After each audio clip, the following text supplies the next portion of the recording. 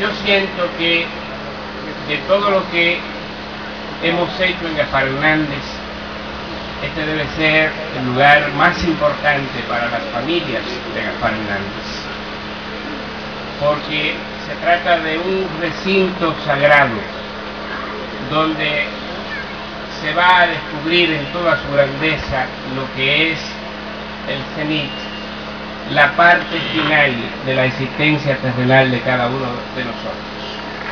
Es aquí donde se puede descubrir lo que es la dimensión de su majestad, de la, de la muerte.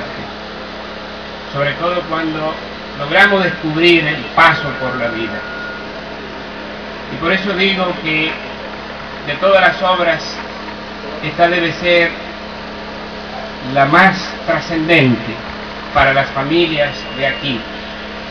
Y yo siento que quizás lo más importante es que podamos lograr mantener la dignidad de este lugar.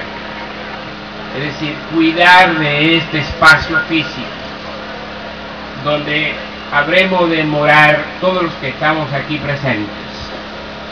Que no debe ser una función tan solo del el ayuntamiento, de su cuerpo de regidores, de su alcalde, sino de cada una de las familias de Gaspar Hernández. Hemos iniciado un proyecto que deberán completarlas, que deberán completarlo cada uno de ustedes, los que van a comprar metros para levantar sus bóvedas, para hacer sus nichos y sobre todo los que definitivamente quisieran permanecer el resto de, de sus días aquí en Gaspar Hernández. El gobierno del presidente Leonel Fernández, a través del Ministerio de Economía, Planificación y Desarrollo, han hecho posible la construcción de este cementerio. El ingeniero Temisto Clemontaz y el licenciado Aníbal Taveras, ministro y viceministro, que dieron las instrucciones y el apoyo económico para desarrollar este proyecto, me han pedido que eleve ante ustedes su saludo y su respeto ante la imposibilidad de estar presente, pero sobre todo la disposición de seguir apoyando y ayudando al municipio de Gaspar Hernández.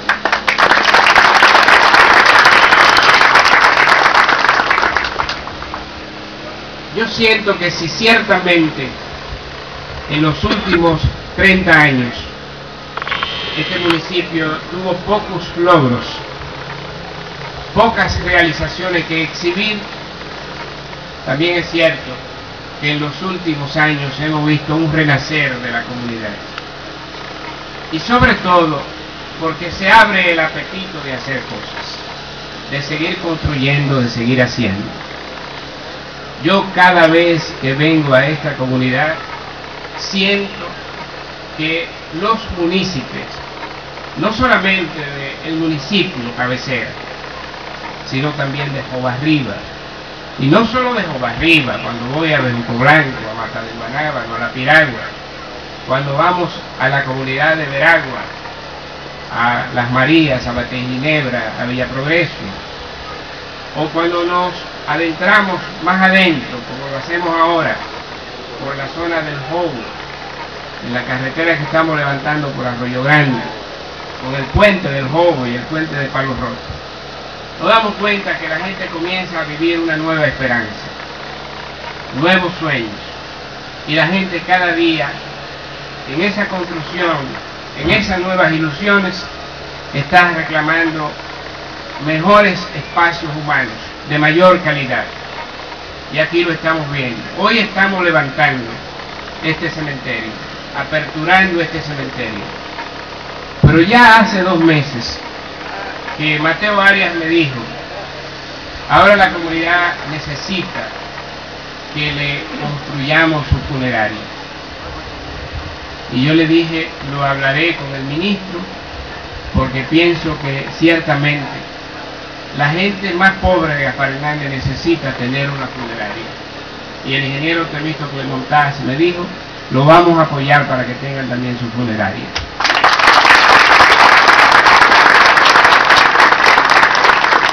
Y el otro proyecto que tiene mucha importancia que fue uno de los que más se levantó en esta comunidad junto al cementerio, es el que tiene que ver con el matadero municipal, el mercado municipal.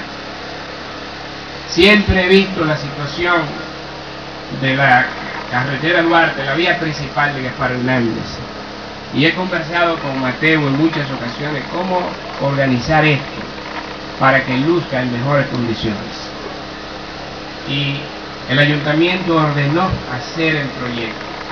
Se hizo el proyecto, se entregó el proyecto al gobierno y debo decirle, Mateo, que no se lo había informado, aprovecho para informárselo a ustedes, que el gobierno aprobó la construcción del, del mercado aquí en la comunidad de París.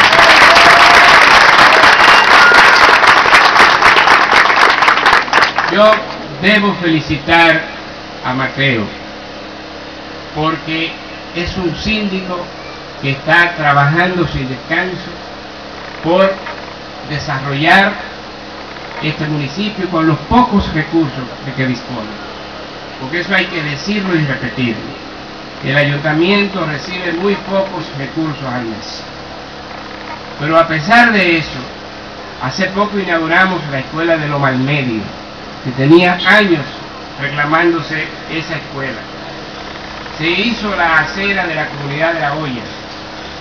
Aquí se hicieron las, entradas con iluminación al municipio de Gaspar y se hizo el bulevar en los alrededores de la universidad, que próximamente va a aperturarse la Universidad eh, Tecnológica de Santiago aquí en esta comunidad, para lo cual el señor rector de UTESA compró el edificio anteriormente de Eladio Martínez para poder desarrollar ese proyecto, que es el proyecto de la juventud de Gaspar Hernández.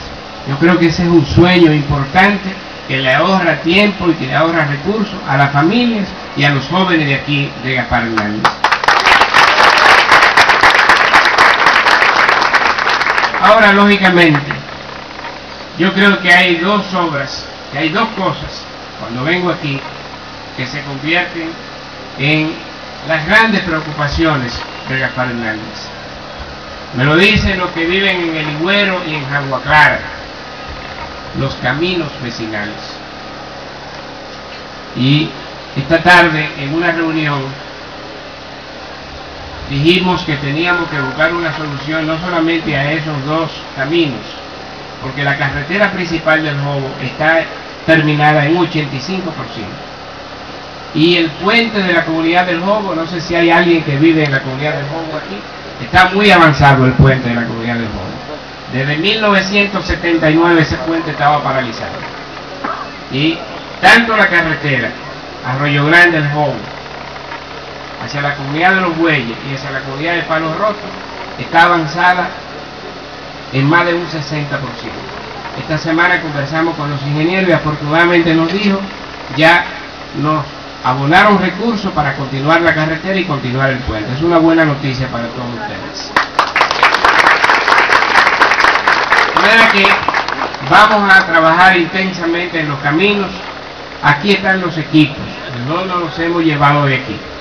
Están en manos del ayuntamiento. Faltan recursos económicos. Le dijimos hoy, esta tarde, al síndico por lo menos pueden contar con 200 mil pesos para que comiencen a trabajar en los caminos. Hace poco estuvo aquí, en este municipio, el licenciado Danilo Medina. Y a él lo acompañó el ministro de Obras Públicas, Víctor Díaz Rúa. Danilo Medina le pidió al ingeniero Víctor Díaz que terminara el asfaltado de los barrios de aquí, de Gaspar Hernández, que ayude a las calles de Villamagante y las calles de la comunidad de Arriba.